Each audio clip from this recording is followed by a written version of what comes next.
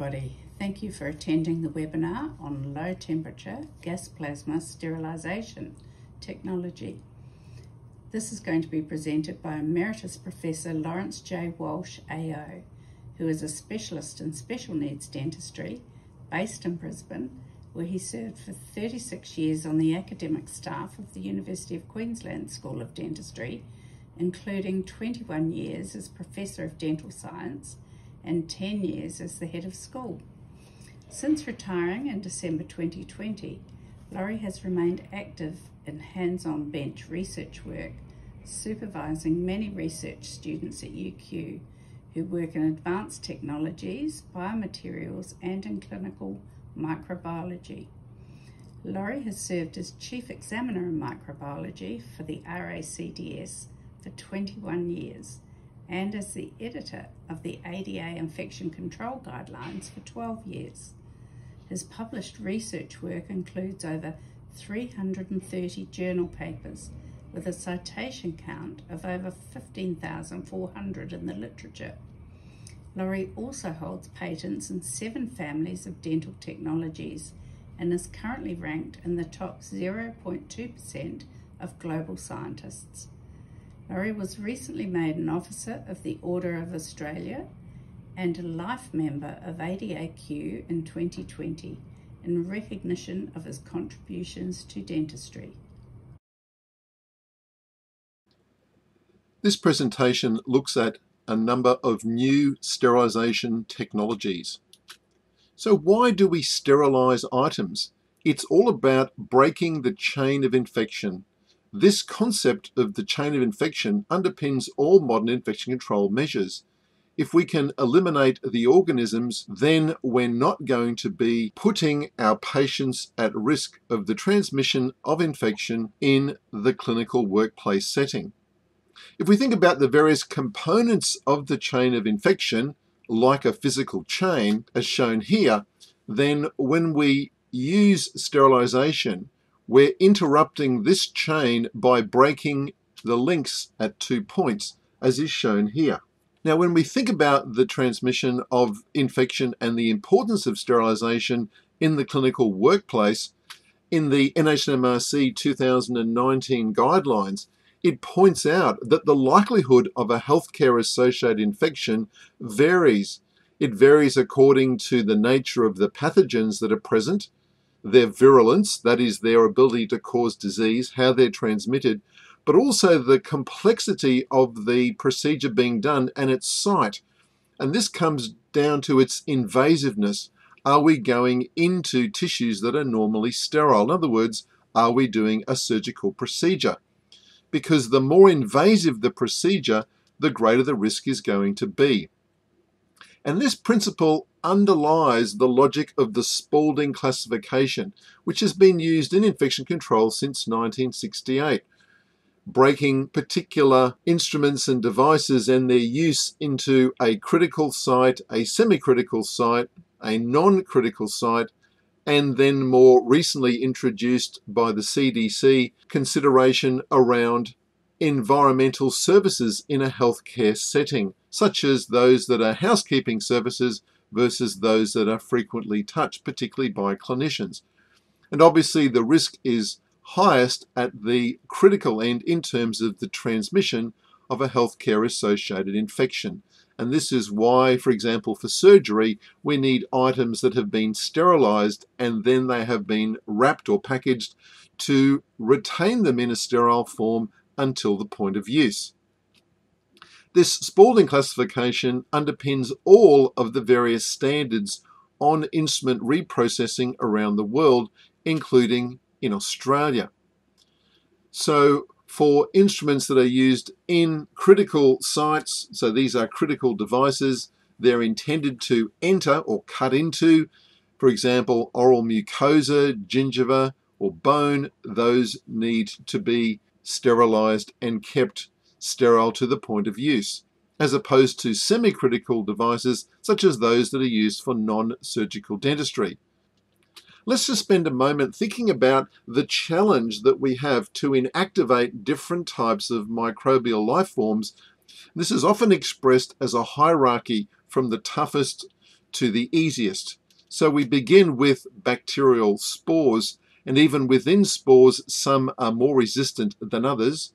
Moving on then to mycobacteria, to the small protein coated non enveloped viruses, also including, for example, papillomavirus, then to the fungi, then to our ordinary vegetative bacteria, and finally, as the easiest to inactivate, the medium to large and lipid coated viruses. We can also add to this list another level of difficulty, which of course would be the prions, for example, those involved in Creutzfeldt-Jakob disease.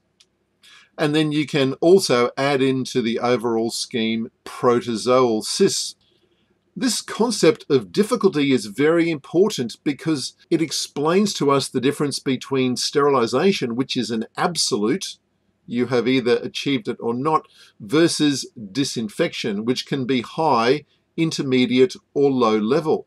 And we can see the scope of what different types of disinfectants will cover, with the low level being shown in the black arrow covering the easy viruses, the vegetative bacteria, and the fungi, the intermediates covering most of the non-lipid protein-coated viruses, and the high-level disinfectants going through up to the mycobacteria and even some of the less resistant spores. But only sterilization will inactivate everything. So with that introduction, let's now get into the main meat of this lecture's topic. So there are lots of different methods that have been developed to sterilize items or to disinfect them. Physical methods or chemical methods. Traditionally in dentistry, we've used physical methods such as moist heat or steam under pressure, autoclaving, and to a much lesser extent, dry heat. Chemical methods of sterilization have been extensively used in hospitals and also in the production of different devices such as disposable dental instruments, typically using things like ethylene oxide. But there is another method of chemical sterilization which is important to know about, and that's using plasma. For example, hydrogen peroxide gaseous plasma. Whichever of these different methods we're going to be using, there are a couple of essential principles we need to bear in mind. The first principle is that we must use the appropriate conditions and we must verify those in a process called validation to make sure that we've got the agent there for the right time, in the right concentration and temperature and pressure and so on. The second concept is that the items must be free of bioburden. They must have been cleaned because if they're not, we're not going to render them sterile.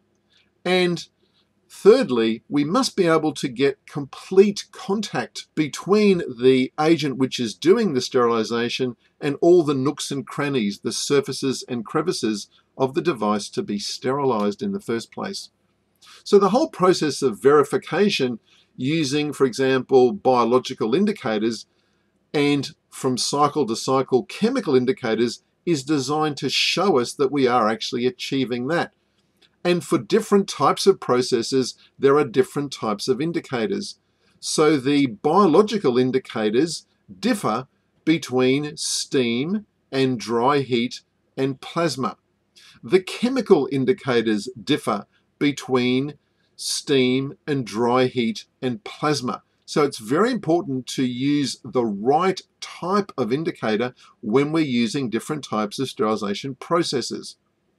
As well, there are some methods where the removal of air is particularly problematic, and that's the case for steam sterilization. And that's why we have things like the Bowie-Dick test, which has been around since the 1960s as a test for air removal for steam sterilization. Let me now make a couple of comments about high velocity hot air sterilizers, which are a form of dry heat sterilizers with a shorter cycle time. They achieve this because they're using a higher temperature. Typical dry heat units run at 160 degrees for two hours or 170 for one hour. These run at 190 for 12 minutes. The air is forced around in a jet curtain design using a special design of chamber so there isn't turbulence in the hot air. Of course, at 109 degrees, there are lots of problems with many things that are heat sensitive, and that includes instruments as well as materials. Obviously, with this temperature, the load is going to be dry throughout, but when the cycle ends, these items are very, very hot, 109 degrees. Hence, the extended cooling time after the sterilizing cycle is complete is an important practical issue and indeed a limitation. The other thing is while there is no moisture present, so the likelihood of corrosion occurring is very, very small, there are metallurgical effects, for example, on the temper and behavior of different sort of metals because of the temperature. So it's certainly not a panacea. And that's the reason why around the world, in Australia through Australian standards, ADA guidelines, and overseas through CDC, there's a general feeling against using dry heat. And the ADA infection control guidelines state that dry heat is not recommended for routine use for sterilizing dental instruments and equipment. Just reinforcing my earlier point, when dry heat units are used, you need a different type of biological indicator or spore test using an even tougher target than the normal Geobacillus stearothermophilus. And that particular target is known as Bacillus atrophaeus. Now I want to spend some time talking about plasma sterilization. So first of all, what is plasma? Plasma is one of the four states of matter, and it's defined as being an ionized or energized gas where there is an equal number of positively and negatively charged particles. If we think about the four different states of matter in terms of a sense of connection between them, when something is a solid, it's in a rigid, highly organized low energy state, such as, for example, ice. When it's in a liquid, we have these reasonably strong bonds between different components. As we add energy in, those bonds get separated apart and now the different molecules can float around. Of course, this is the state of a gas. But if we then add further energy in, and that could be heat, it could be microwaves or radio frequency energy or even high voltage, we strip the electrons off. And this is how we end up with particles that, of course, are either positively charged because they've lost electrons or they're negatively charged because they've gained electrons. Now, because of the very high energy state that a plasma is, you often see that it gives off light. And you've probably all seen, or you may even have, these types of plasma discharge displays. And of course, plasma discharge was the original technology of the flat screen television made famous by, of course, Samsung. Today we don't see these very often because they suffer from all sorts of problems like burn-in and flicker, radio frequency interference and buzzing. And today there's much more efficient types of flat screens such as organic LEDs and liquid crystal screens. But it's just a really good example of the way that plasma technology has evolved into different types of applications. So if we want to sterilize something, what sort of gases could we use to generate a plasma? Well, obviously, atmospheric gases like nitrogen and oxygen could be suitable. Ozone could be suitable. However, what's different about these gases is how much energy it takes to strip away the electrons and to ionize them. And this is the dissociation energy shown in electron volts. And you can notice that it takes a lot lower energy to dissociate hydrogen peroxide when it's in a gaseous form and its nearest relative, which is triatomic oxygen or ozone. Ozone, of course, is so unstable that it's very difficult to work with and you can't generate it and store it in a cylinder like you can with other sorts of gases. Hydrogen peroxide, of course, we can stabilize and have in a liquid, so it's much more convenient. So this is why hydrogen peroxide is the most common material that's been used to generate a gas that is then activated to form a plasma for sterilization. So in order to achieve an effective plasma, we need to do that under very, very low pressure, deep vacuum conditions. And we need something to excite the material. And that could be radio frequency, it could be microwaves, it could even be high voltage. Then we've got a whole range of different products which are produced. And these free radicals, oxygen free radicals that are generated, these are the things that interact with the organics, with the viruses, with the bacteria, with the fungi, and they literally chemically erode away their surfaces and oxidize them. And this is what kills them off. This is a well-known technology. It's been around for quite a long period of time, and how it works is really well described. In this article from 2002, there's an allusion to what some of the main radicals are that actually kill off microorganisms, talking about the hydroperoxyl, which is the OOH, and the hydroxyl, which is the OH radical. But there's also the O radical, there's even potentially the O3, the ozone radical as well. But it's the OH one which is regarded as being probably the most efficient for inactivating microbes. That's because it's the one with the greatest oxidizing potential. It's the one that can disrupt and destroy the membranes of cells, for example, by processes like lipid peroxidation. Now, the really important thing to remember about this form of plasma is that it's operating at a low temperature. That's why it's often called cold plasma as opposed to hot plasma which you might get, for example, when you have a lightning strike or electrical discharge. The temperature range is not that much above body temperature, typically around 45 to 50 degrees. So let's try to put all that together into a bit of a process. We've got our organisms we're going to introduce them to gaseous hydrogen peroxide. Gaseous hydrogen peroxide by itself is an extremely good microbicidal agent. It's able to inactivate and kill organisms because it's a very, very powerful oxidant. So that begins the killing process. When that is activated, or if you like, pulled apart or cracked by the generation of plasma, that's when we get those additional oxygen free radicals that are even more potent again. As the generation of plasma continues, it eventually cracks and breaks down all of the hydrogen peroxide into its simplest form. And that gives you the end products, which are completely non toxic normal diatomic oxygen and water. So, unlike ethylene oxide, which is a method that's been used in hospitals, which is an incredibly toxic gas, the end products of gaseous hydrogen peroxide plasma sterilization are actually oxygen and water, which can be vented to the atmosphere. So different forms of activation have been used with hydrogen peroxide plasma devices. And the actual technology has been used for quite a long time, but almost exclusively in a big hospital setting. It's only very recently that it started to be used in a small office dental clinic type of environment.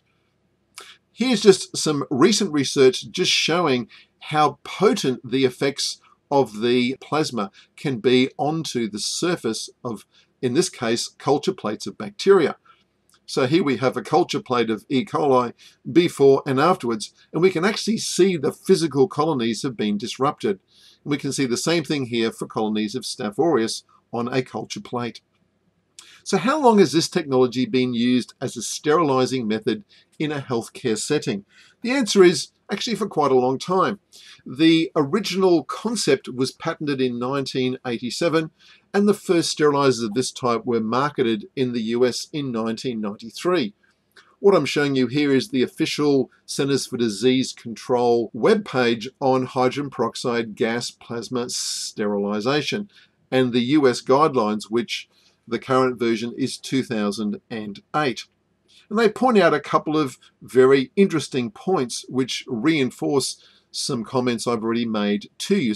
Stresses the low temperature nature, the reactive nature of the plasma, the fact there is no toxic residues left behind, and that the sterilization is occurring in a very low moisture environment.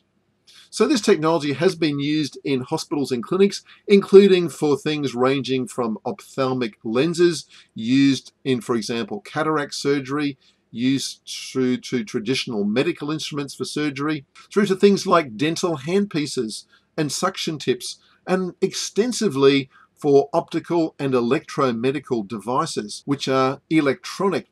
The units that are used in hospitals range in size from about 30 litres up to enormous large units with chamber sizes of around 200 plus litres.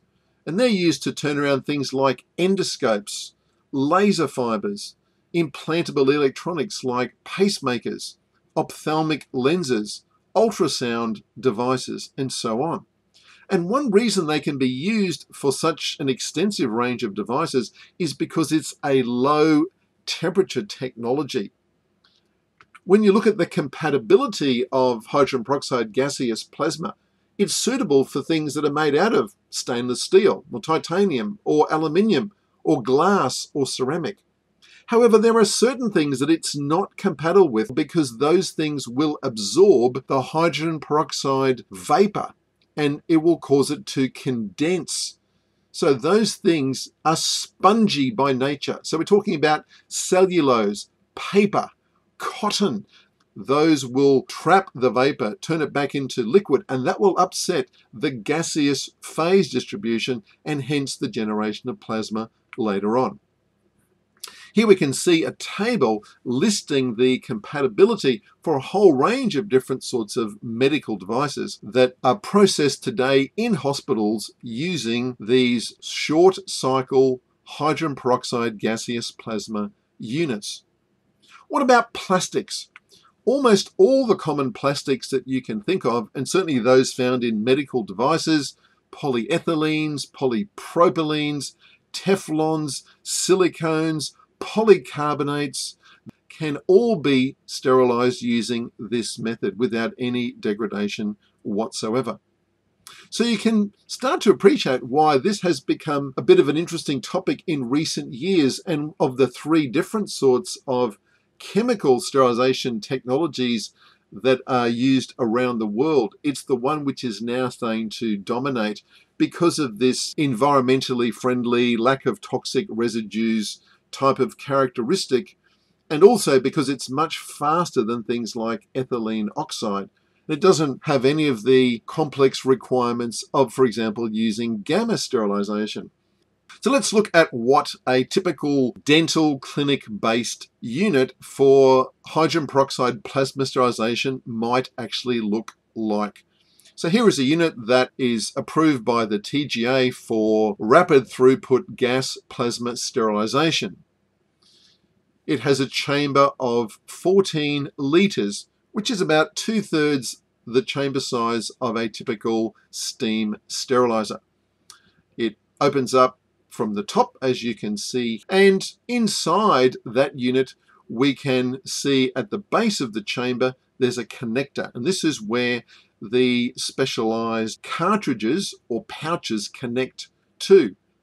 But actually it's a little bit more sophisticated because the chamber itself has a barcode reader which is able to read the barcodes on the different types of cartridges and packages which are loaded in to check things like the expiry date on them in terms of the shelf life of the hydrogen peroxide. And that also informs the sterilizer of the correct cycle parameters to use to make sure that that selection is effectively idiot proof. Here's an even smaller one where the chamber size is only 7 litres.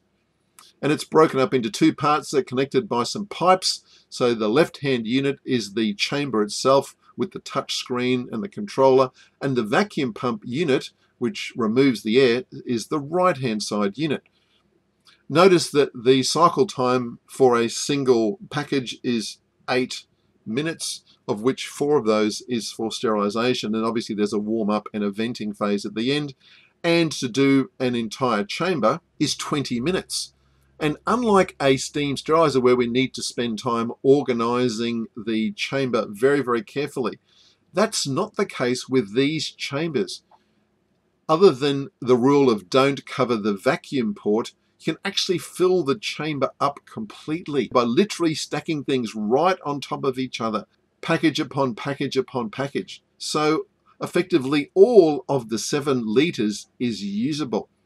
This is quite a different concept from steam sterilization. And this partly relates to the nature of what's happening here. So here we can see those different sort of modes. So in the top mode, we've got the specialized connectors linking onto just one package. And that package contains the hydrogen peroxide. It connects up to the specialized ports and that will do the items inside that one package. So that's that eight minute mode. Whereas the chamber mode, where we use the entire capacity of the chamber, of course, is a longer cycle because the air removal, the introduction of the vaporized hydrogen peroxide, all those things are going to take longer. So it's pretty clear that the sort of pouches that are used are fairly specialized. So here they are. This is the 7 minute variety and the larger one on the right hand side is the 14 minute variety. Tucked in the leading edge on the left hand side is the stored stabilized high concentration hydrogen peroxide. That's already built in. And then at the end of those, you can see the barcode and the manufacturing date, which is read by the sterilizer through its barcode reader in order to verify that the package is in date before it begins the sterilizing cycle, which is very important. Now, there are other ways that you can wrap items in beyond putting them simply into these types of dedicated containers. You can wrap them in polypropylene non-woven wrap. So KimGuard is one example for that. But obviously, whatever you use has to be compatible with hydrogen peroxide gas plasma, and polypropylene was one of those plastics that is, as is polyethylene. So a special high density form of polyethylene made by DuPont is called Tyvek. And Tyvek is used to make these specialized pouches. And these you can use in the same way as you would use paper plastic pouches in a steam sterilizer, you can use Tyvek pouches for hydrogen peroxide gas plasma sterilization. And then you seal them off using a specialized heat sealer. You can't use paper containing pouches inside a hydrogen peroxide gas plasma sterilization unit. Here we can see that sealing being done in the dedicated unit. There are of course also cassettes that you can place items inside and these of course will be porous to allow the exit of air and the entry of the hydrogen peroxide vapor. So having now seen what the technology looks like, let's now go through the cycle to understand the events that are occurring. Remember that all of these are happening at a low temperature, just a little bit above body temperature, and that temperature is designed to reduce the chance of condensation of the hydrogen peroxide from its gaseous phase back into its liquid phase. So the whole process begins with the removal of air, the vacuum phase. And this is why these sterilizers can treat items which have lumens, which are hollow.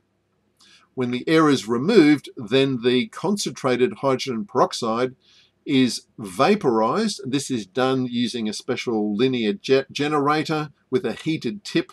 So the vapor comes out and that then diffuses through the load and the pressure rises to push the hydrogen peroxide vapor onto every surface of the item. So it goes through the special packages, through the Tyvek pouches to reach all the parts that are inside the load.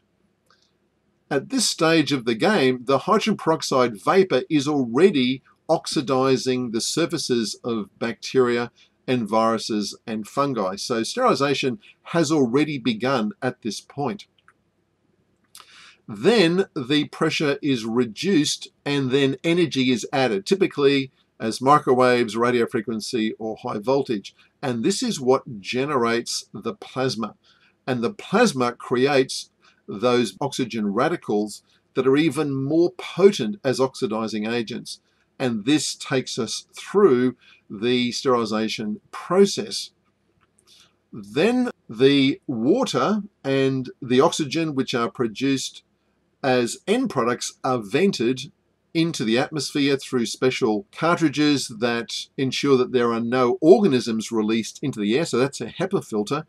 And through a special chemical cartridge that gets rid of all the oxygen radicals. And then the entire sequence is then repeated.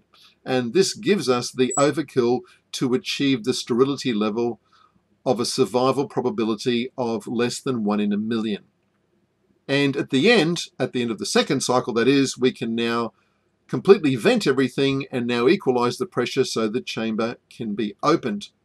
Note that because the items are coming out only slightly warm, there's actually no need to cool them afterwards. They can in fact be used immediately, which is one reason why very delicate, very specialized items that are in high demand in hospitals are typically processed using this method.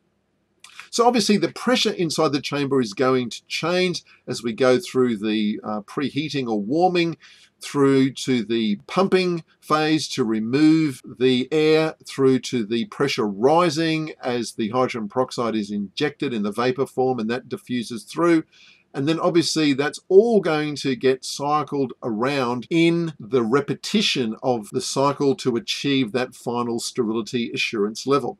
So we can record the data in the same way as we can record the data for pressure changes using a steam sterilizer.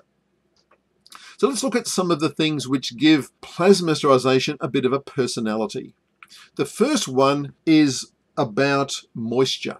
For the same reason we don't want things that trap hydrogen peroxide vapor and create liquid, we don't want moisture, that is water, on the load because that's going to upset the phase distribution as we go through the sterilizing process. So items must be completely dry before they go into the chamber.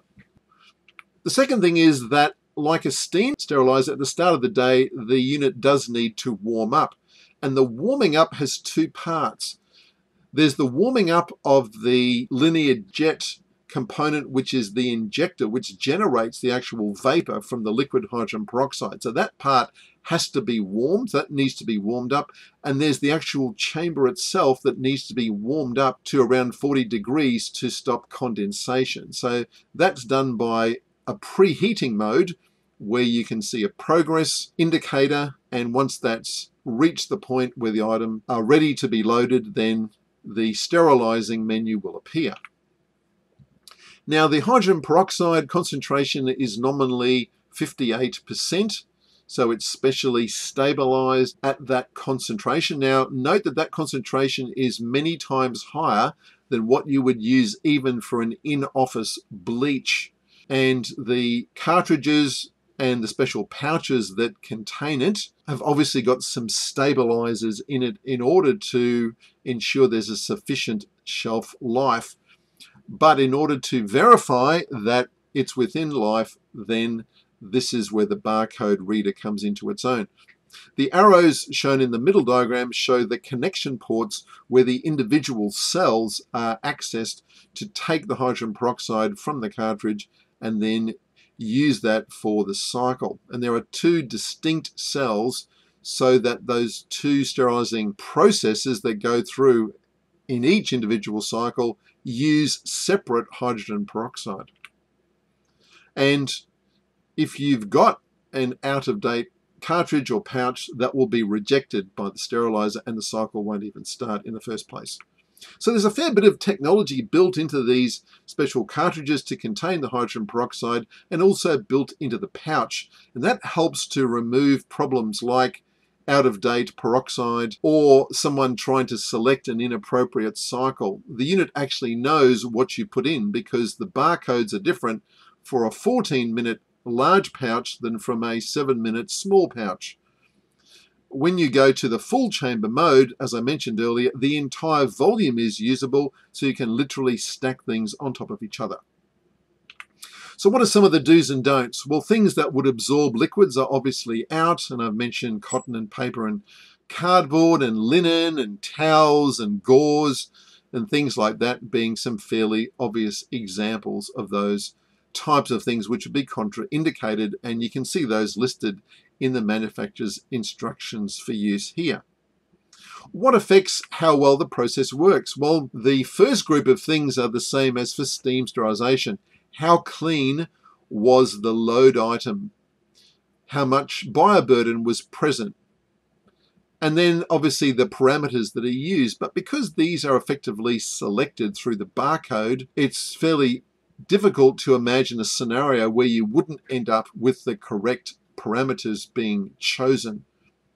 The main thing you can get wrong is to put in a load which is not dry. What about hollow and lumened items? So single channel stainless steel items can be processed. For example, if it's 0.7 of a millimeter, then it can be 500 millimeters long or less. The manufacturer's data show a whole range of different scenarios for hollow items. And as you would know, as the diameter becomes smaller, the difficulty increases. As the length of the pipe becomes longer, the difficulty increases. So I want you to focus on the two areas that are highlighted with the pink ellipses. So it is possible to do items which are even less than 0.5 of a millimeter in diameter. In fact, the manufacturer has tested down to 0.25 of a millimeter. And they've even tested things which are over 2 meters in length at either one or two millimeters in diameter. So these dimensions are a much greater range than what you would find in a suction tip, for example, or in a dental high-speed handpiece. And this is why dental high-speed handpieces, air turbines, can be sterilized using these types of units. There is in fact even a specialized type of helix test where the biological indicator goes inside the end rather than a chemical indicator. And that's put through a process. You then take it out and you look for a color change visually. However, this is not generally used by most manufacturers of hydrogen peroxide gas sterilizers. Let's just talk through a bit about what happens at the end of the cycle when we're venting everything. So the processes are going to be vented out through the back of the unit through the little filter, the HEPA filter shown with the blue arrow on the right hand side. So the hydrogen peroxide is going to be fully decomposed to water and oxygen. So the HEPA filter is going to block any bacteria or viruses or fungi coming out and there's another little cartridge which is going to inactivate and trap any ozone or oxygen radicals that are remaining. So we only get regular diatomic oxygen released out. Now, of course, both of those things are going to have a limited life, and practically their use life is about six months. So the manufacturer recommends replacing the HEPA filter and the ozone cartridge every six months. Now, when the chamber is opened, once the venting is finished and the cycle is complete, the items will feel slightly warm because the maximum temperature in the injector is 57 degrees and inside the chamber it's going to be around 40 degrees. So the packages will feel slightly warm. However, the person unloading does need to wear gloves because there is a very, very small possibility that there might be traces of hydrogen peroxide remaining. So it's actually to protect their hands from chemical irritation. Because if there was hydrogen peroxide residues, even in a very, very small amount, then that would clearly be able to irritate the skin. Now it's readily reversed by the application of any type of vitamin E product. But from a purely OC health and safety point of view, if you saw an item that came out and it was actually wet, then that would not be water, it could be wet with hydrogen peroxide. And so while the items aren't hot, it is important to wear gloves when removing items from the chamber at the end because of that very remote possibility of there being traces of liquid hydrogen peroxide. So let's now go on to talk about how we assess the performance of the sterilizer in terms of its normal validation under the Australian standards for sterilisation and instrument reprocessing. Well, there's not an Australian equipment standard for hydrogen peroxide gas plasma sterilizers. The Australian New Zealand standard 4187 refers to the ISO standard, which is 14937, which goes through gas plasma sterilization in quite some detail. The requirements are also picked up in Table 2 of the Australian New Zealand Standard 4187. So let's look at those key points. First of all, at the end of a cycle, you're going to check that the packages are not breached, they're not torn, they're not broken, they're not punctured. There is going to be data recording for each cycle, and that will record the temperature, the pressure, and the exposure time. There are chemical indicators. You must have a chemical indicator included with each item that is external on the outside and you can apply that as you'll see in a moment using a special tape. You can use internal class 4 chemical indicators that is optional and in terms of air removal tests because of the nature of the process an air removal test such as a Bowie-Dick test, is not actually required under the different standards and using a process challenge device, which is another test for air removal, is also not mandatory. It is optional and you would only do it if recommended by the manufacturer.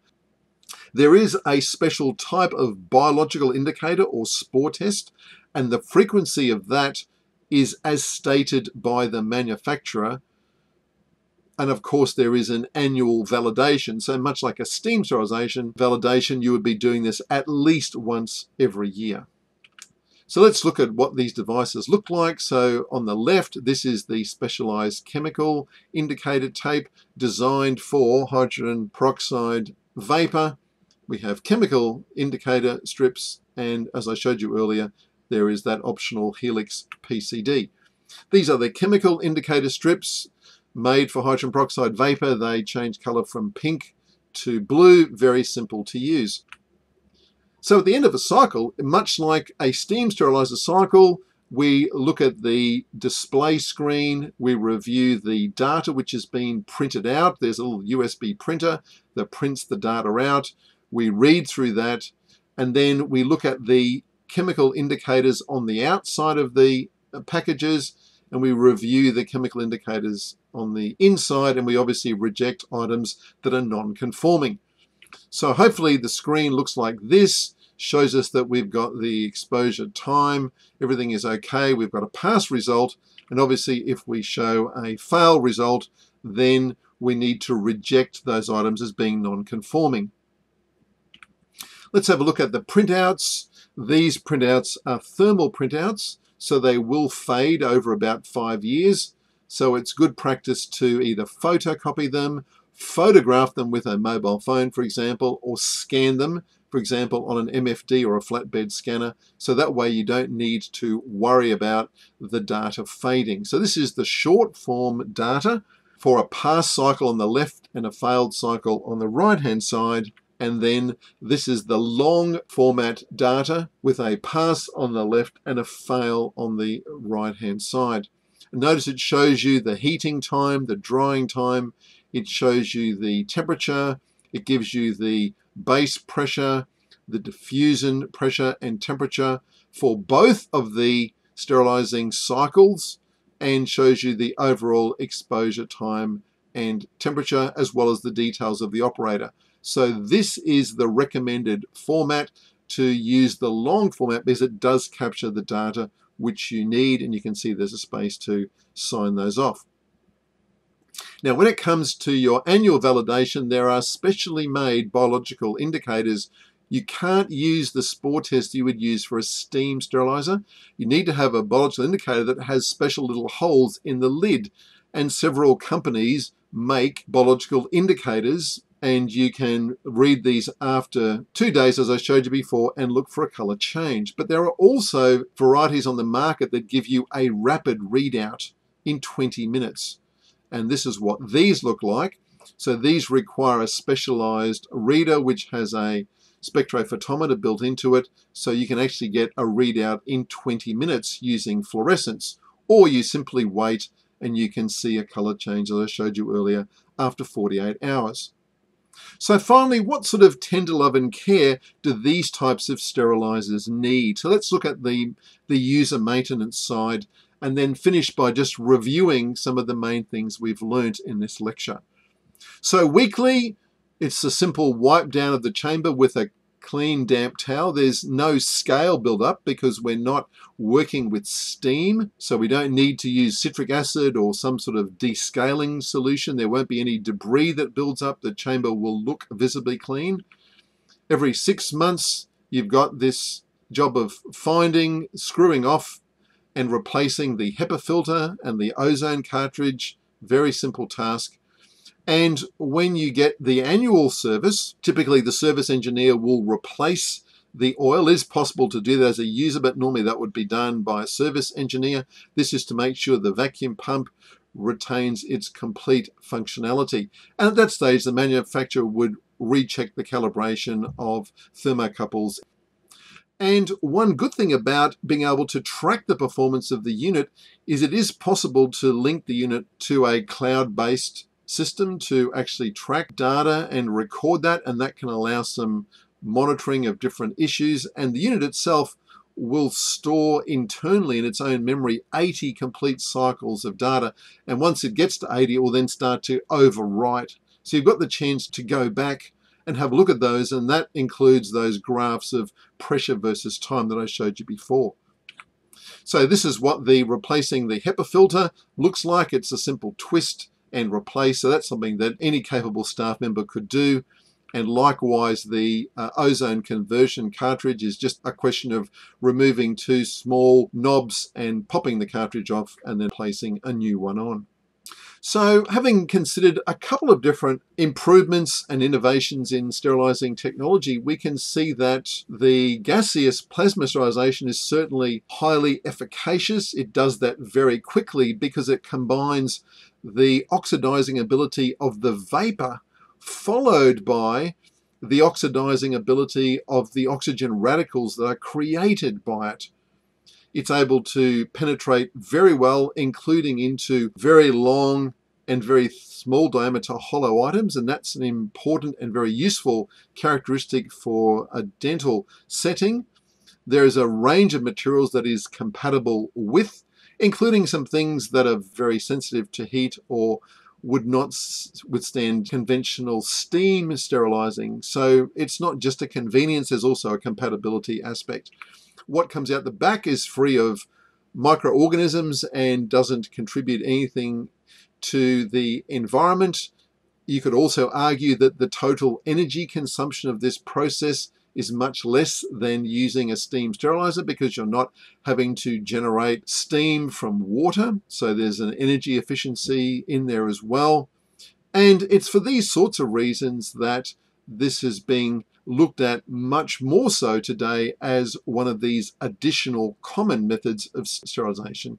So hopefully through this presentation you've gained some insight into a couple of different ways that we can think about sterilization and most importantly you've now got an appreciation of the difficulty of trying to inactivate different forms of microbial life and hopefully that idea of this hierarchy of complexity of kill and inactivation and the chain of infection, those concepts will stay with you whenever you're thinking about approaches to sterilization.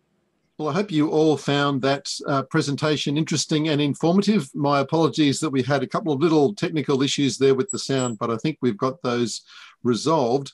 Uh, we do have a question and answer tool. So please feel free to type that in. A few people have already been busy uh, typing away. So I'm going to begin by uh, tackling their questions first. Um, so there's an, a very good question was posed about can you use this method if you've dropped a dental implant mid-surgery? So one of the things, if you've dropped an implant, you have to render the surface of that clean. And unfortunately, the clean that you will do in a dental surgery setting using detergents and water may change the oxide layer, may not remove the endotoxin that will be on the surface because you've dropped it on the floor. And mostly, most importantly, you would lose characteristics like electrowetting.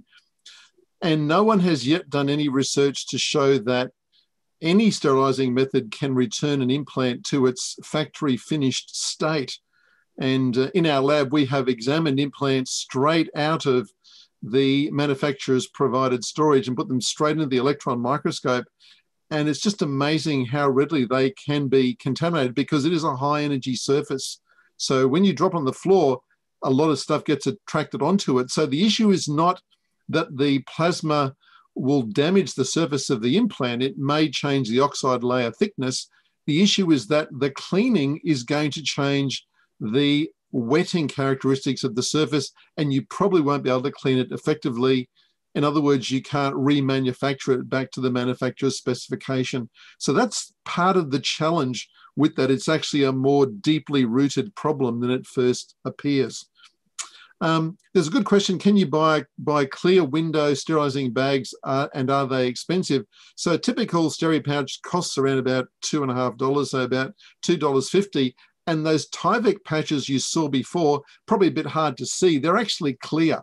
You can see right through them. At the end of the cycle, the final part of the cycle, because of the way the vacuum is applied, things come out basically vacuum sealed. So unlike a regular Steri packet, when you look at it, you can't necessarily tell by eye if it's been through without close inspection. These you can see instantly if you've had an item go through because it actually has this vacuum sealed approach and they're actually transparent. You can see through them. So you don't need a clear window because they're actually transparent. Bit hard to see that uh, just the way that the photographs were, were taken there. Um, good question here. Are there items which are not suitable or shouldn't be placed in a cold temperature plasma sterilizer? As I said before in the lecture, it's really anything which would condense hydrogen peroxide vapor. So things like cotton pellets, cotton rolls, gauze squares. I mean, those things you would often buy pre-sterilized anyway. And obviously drapes, um, textile drapes, um, surgical gowns, those sorts of things, which again, people would often buy as a single use disposable anyway. All those things would trap and condense vapor. So all those porous types of items would be out. However, things which are uh, electrical, things which are optical, can go through HP plasma sterilizing, and I've even seen a mobile phone put through it, which is a fairly extreme example, I would have, I'd have to say. But obviously, a pacemaker is a really good example of you know electrical item. Batteries are put through it, so it's a very, very widely used method, but it's just not for things that can soak things up. So the rule is, if it soaks things up, then you wouldn't use it. Um, cost comparison with traditional systems, that's a very good question too. Actually, it's quite comparable uh, to what you'd be you know, getting for a normal you know, 20 or 22 litre pre-vacuum sterilizer. Remembering you're not needing to generate deionized water on site you're not having to use a lot of energy to drive the sterilizer. It runs off, you know, a low regular 10 amp power point. So there are actually some energy savings that are tucked away. So it ends up being actually very, very cost competitive, if not anything, being actually slightly more efficient because you use a different amount of instrument inventory because you can turn things over more quickly and use them fast without a cooling phase, the total amount of instrument inventory you need is less and that might be very good if you've got some particularly very funky pliers, for example, or microsurgical instruments or things like that. Um, uh, there's a question about uh, calibration and servicing. So obviously that would require some specialized expertise. There is quite an extensive document on how the validation is done. And I think I'd refer you back um, to, the, to the suppliers locally in Australia for information about who best to do it. But it's not a particularly difficult procedure. There are a lot less things that can go wrong in this type of sterilizer than in a conventional pre-vacuum sterilizer. To give you just one example, one of the most common failings over time in a pre-vac is the door seal.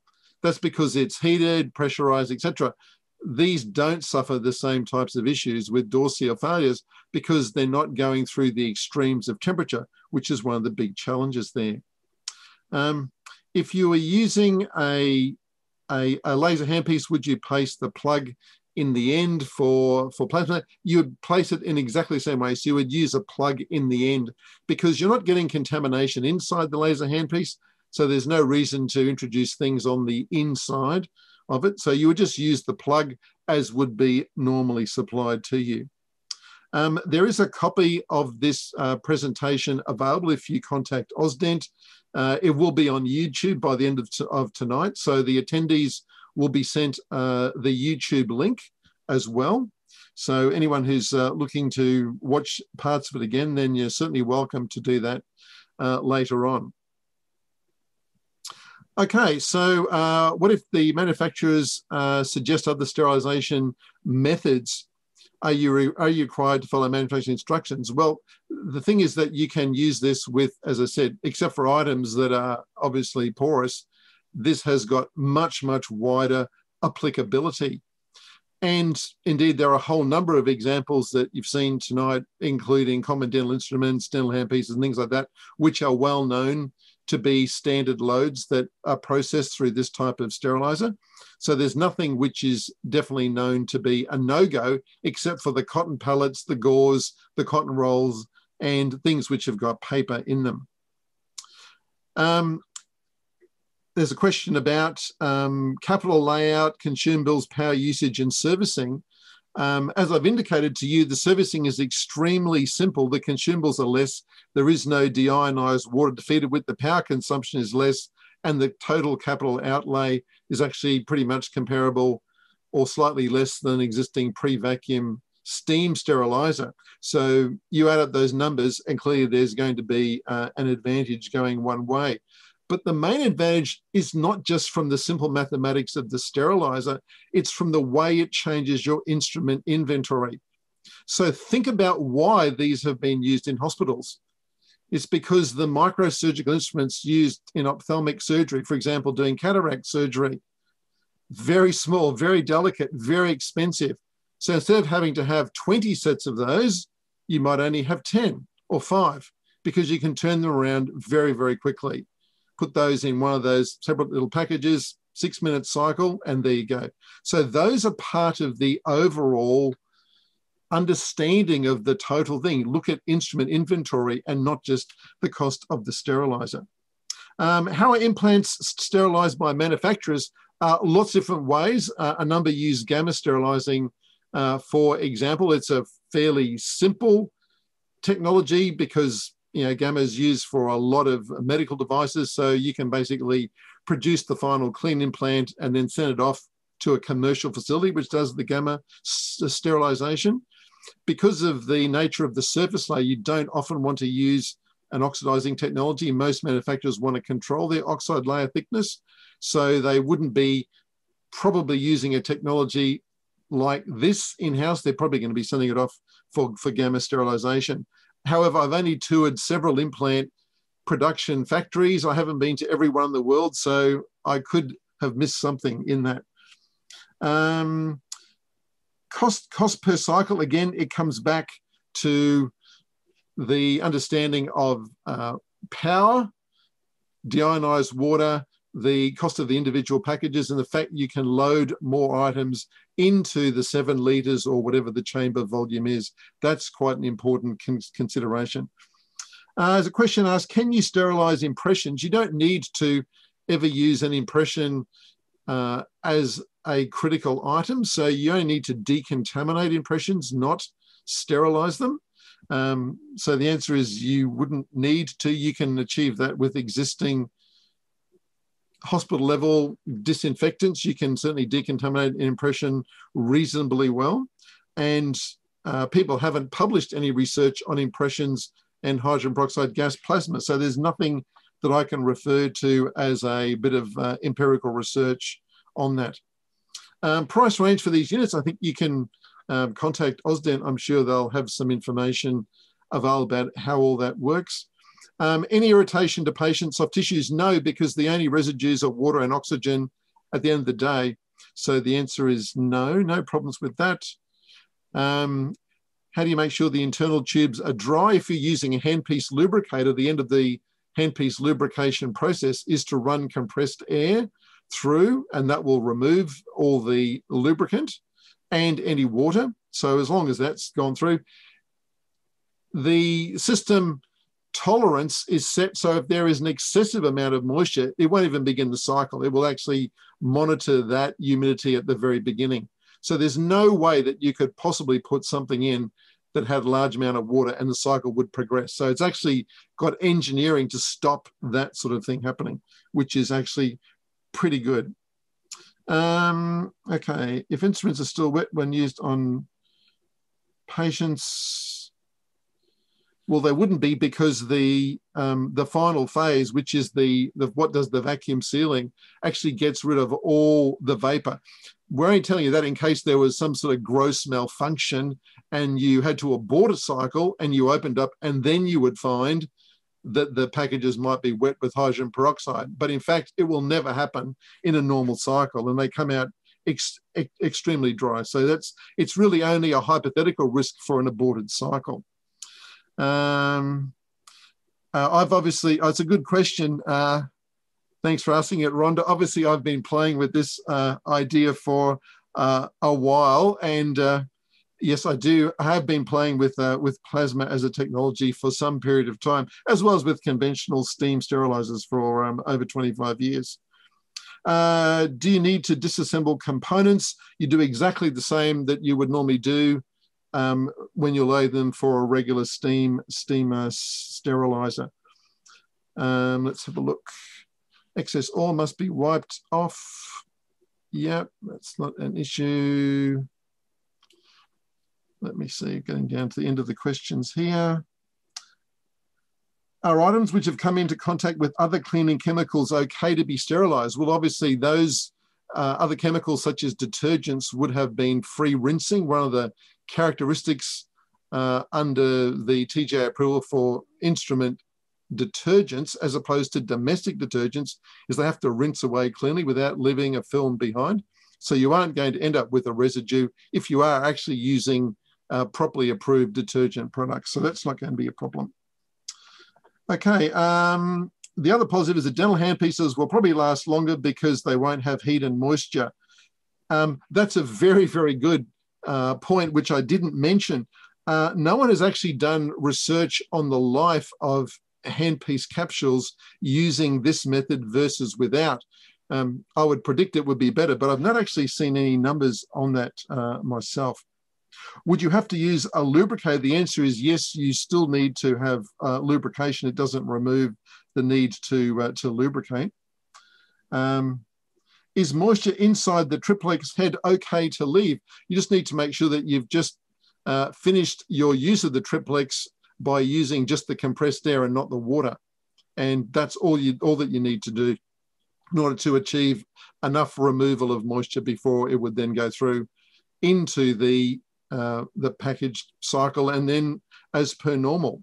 So that's a getting some excellent questions, show that people have really done their homework and thought really well about, about the topic. Let me just go through and see if there's any others I haven't picked up. Um, let's have a look. We've got all those. A lot of uh, familiar names and faces here. Nice to see many of you uh, tuned in tonight to have a listen. Um, let's have a look. Uh, we're just uh, a couple of minutes over over time. If you've got um, a last question, please throw that in there, and uh, I'll try to tackle those in the last few minutes, and then we can uh, wrap it up for tonight. Just use the Q and A feature. Uh, there is a recent uh, article I've written on this, which again goes through a lot of the technical uh, issues, draws on uh, what is written in the 4187 standard about the validation and the record keeping and covers those sort of technical points. So uh, that can be made available uh, to you as a resource, or you just might want to watch the presentation again on YouTube as well. It will have the question and answers included on the YouTube recording. So if you're interested in that, you'll be able to pick those up as well. Okay.